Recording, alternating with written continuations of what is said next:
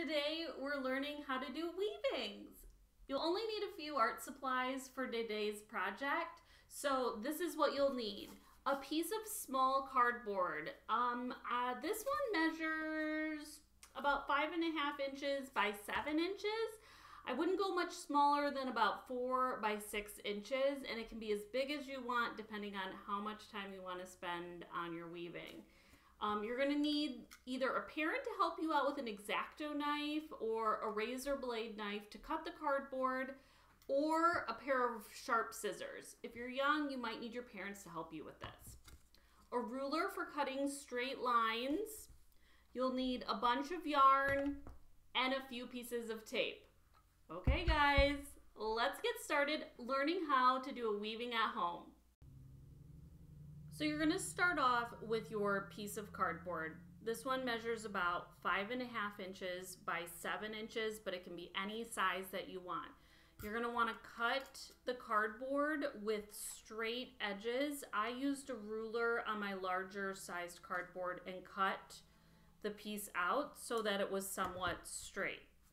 Once you have the piece of cardboard cut out, what you're going to do is either take your scissors and cut down and this is about one finger width. Or you take your razor blade or your X-Acto knife and you cut down. You are gonna need to do this with a parent to make sure that you don't cut your fingers. This is the most dangerous part. So these lines, if you wanna know the exact measurement, maybe a half of an inch um, or one big um, finger width. All right, once you're done with that, you actually don't need the sharp tools anymore and you only need scissors for cutting your yarn. So now that you have the loom started, let's talk about how to create and finish to add the yarn. Hey look everybody, Miss Defa, the second grade teacher at my school has come to join us. Just wave, hi Miss Defa. She's gonna watch us while we create our weaving. All right, so this is going to be the color for my warp. You won't really see a ton of this color, so whatever you have the most of, this is what you want to do. You want to take the end of it and with a small piece of tape, tape it to the board. And that's going to be the back of our board. Now I'm going to take this yarn and I'm going to be hooking it through the little cuts I made at the top and the bottom. So I've made 12, exactly 12 on the top and bottom. You want to have the same amount. And I'm just going back and forth so that the yarn goes through every single one.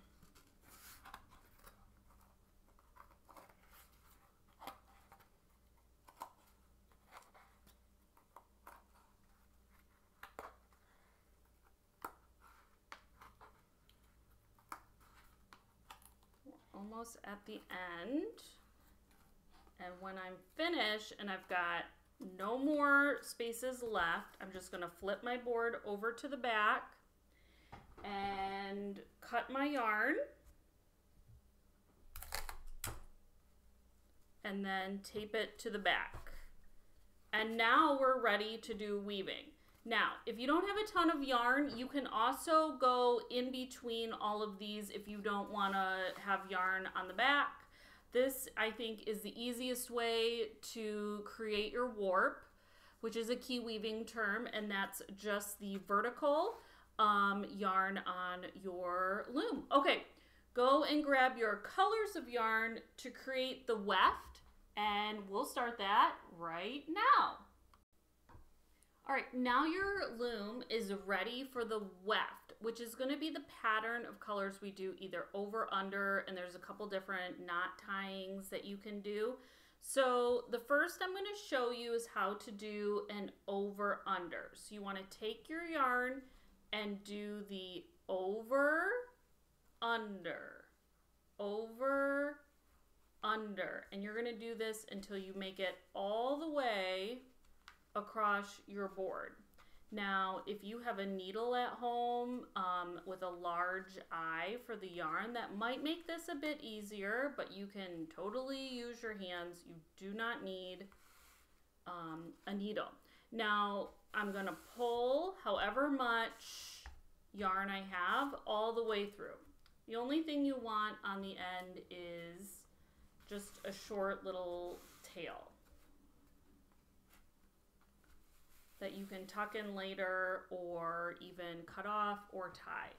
Now you're ready for the next row and it's going to be the opposite. So if this row ended in under, your next one's going to start with over, under, over, under, over, under. You want here for the opposites to happen, where you have under here, over here. And again, you're just going to go across the whole board doing that pattern, either over, under, or under, over. And then pull it through. Once you've reached the end, you don't want to pull too tight. You kind of just want it to loop around the end and then push everything to the top. And continue doing this for has, however long as you want on your loom with this color. So if you want to do more, you ended here with under, so the next row is going to start with over. And just keep doing this until your yarn is gone or you want to switch colors.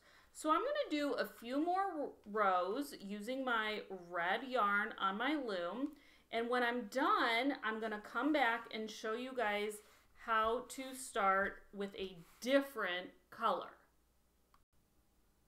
All right, once you're done weaving, all you're going to do is take your scissors and cut the yarn so that you have a bit of a tail left behind. Now you can just leave it off to the side, you can tuck it under, or you can even take it around the warp right here and tie a knot and cut off the extra so that it's safe and secure. And then move on to your next color. Using the next color, you want to follow the same rules you did with the color before. If it was under, you want to start the next color with over. If it was over in the last row, you want to start with under. And then just continue to keep weaving with the next color. So I'm going to do a few rows using my orange and I'm going to follow all the same directions that I did up here for the red. So when I get to the end of the row, I'm going to pull the yarn through. I'm going to leave a tail and don't forget to push the yarn up so that it's nice and tight. And then when I go to the next row, I want to do the opposite. So here I went under, so the next row I want to go over. Also important to remember when you're pulling the yarn through the loom, you don't want to pull the yarn too tight because if you do, it'll make your warp get really skinny in the middle. And that'll change the size of your weaving and it will no longer be rectangular. It'll be very wide up here and very skinny in the middle. So when you're pulling the yarn through like this, make sure it's nice and loose and it's not pulling in. So I'm going to weave a little bit more of orange and I'll be right back when I'm done with that. All right, I'm done with the next color. So all I'm gonna do is cut and leave a tail, and then I'm ready to move on to the next color. I'm gonna show some more advanced techniques about how to weave a little bit differently. Um, these are totally optional. You can actually do an entire weaving using the over under stitch that we use here with red and orange, and it would look great. These techniques are different, more advanced if you want to challenge yourself. So I'm going to do the same over under following the same pattern as above, but instead of weaving all the way to the end, I'm only going to go halfway. So one, two, three, four, five, six. I want one too many. I'm going to pull it through like normal, leave the tail, and then I'm going to come around. Let me make sure.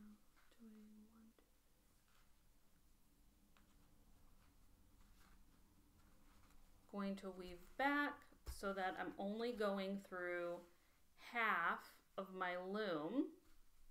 And on this side, I can use a different color. So I'm going to continue doing the over under only on half my loom for a few rows and I'll come back and show you what it looks like. I finished my yellow and I've cut it off and now I'm going to start with my next color here and I'm going to weave and I'm actually going to be going over and under in between my weavings here on my yellow. So I've left it really loose so I can still see my warp and I will be weaving the other half of this section. And this is a more advanced technique. You um, can experiment with this. Um, it is easier to weave like this if you leave a big gap in your weaving here. So you could totally skip um, your last weave to be here. So your last stitch doesn't need to be here. It could be here. But you'll get a little gap in your weaving, like a little peek through hole, which is fine. Um, but I like my weaving to be without gaps or holes. So for me, what I'm doing is when I finish a line, I'm making my last stitch in between so that you don't get a hole. And how I'm doing that is I'm just kind of sticking a pencil underneath here, lifting and kind of grabbing the yarn and pulling it through. And this is a little difficult if you're brand new at weaving, but um, you're still sticking with the same stitch over, under. You're just doing a little bit harder of a technique when you're connecting it here. So I'm going to keep doing this green color and when I'm finished, I will come back and we'll talk about tying some knots with the next color.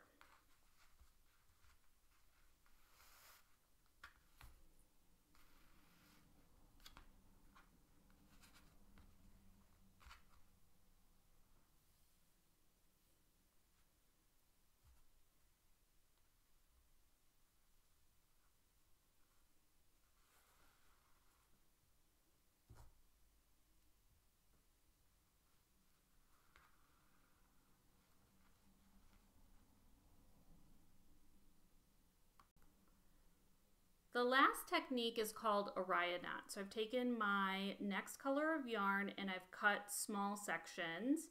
They are about five inches. I'm going to grab three of them and I'm going to go under the first two strings like that. And then the next two strings, so of, on my warp, the one and two, I've gone under. Three and four, I'm to go under those and wrap them around. And then I'm to push everything to the top. And that is a Rya knot. Now, sometimes with kids and using yarn, this can come undone. So this isn't part of the technique, but if you're feeling a bit insecure about this, you can always tie it here to create a knot. But once you weave underneath this with your over and under stitch, it will actually keep this in place. So you can actually leave it like that. So let me show you again. So I'm grabbing three at a time and I'm going to go under two,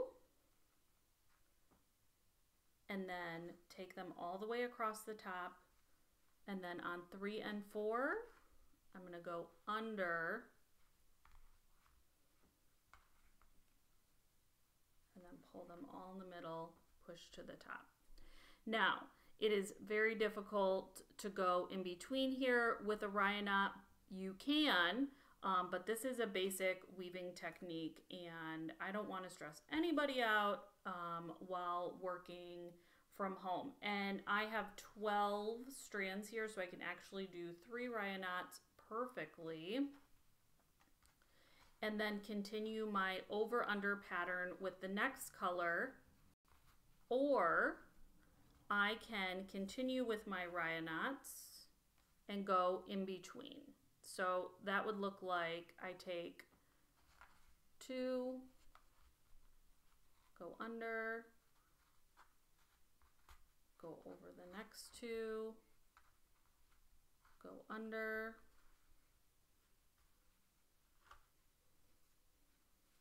and then push everything to the top.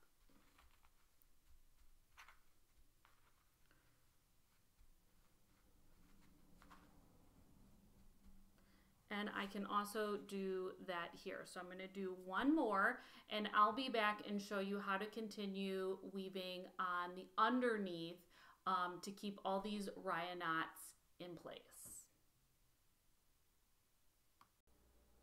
All right, I am done with my weaving. I um, wove underneath the Rya knots pretty close to where they ended. You can see how close I am here to hold them all in place. I'm cutting my last yarn off. So now I want to get my weaving off of this cardboard loom so I can hang it up somewhere. So I'm going to turn this over to the back and I'm going to cut right down here down the middle. And I'm going to pull my tape off of my loom. As long as you take really good care of your loom, you can actually use it again for a different weaving and I'm going to carefully pull my warp off the loom, top and bottom. Try to eliminate how much pulling you're doing so that you don't ruin your weaving. Okay. Now I'm going to take my warp and I'm going to take the first two and I'm going to tie a knot.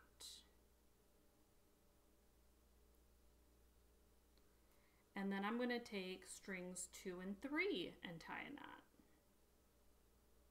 And then I'm going to take strings three and four and tie a knot and continue this all the way on the top and the bottom. Now, if you're overly cautious about wanting your weaving to stay in place, you can always go a second time and repeat that knot pattern so you get double knots and that will really hold it in place. So I'm going to do my knots on the top and bottom and I'll come back when it's totally finished. All right, I've tied the top at the bottom. It creates this really cute um, twisted pattern. Now on the sides I've already started cutting, so I wanted to show you what I did. I took two of the strings on the side and you can tie them together. If you're worried, you can always do two knots and then cut off the extra. You can also take the strings, if you don't like the look of that, you can take them around the back, lift up gently with a sharp object, maybe a pencil, and pull the extra string through to hold it in place. You can also do that. And that is how you do the basics of a weaving. I hope you enjoyed it. I know it's a lot of work. I promise the end result is amazing.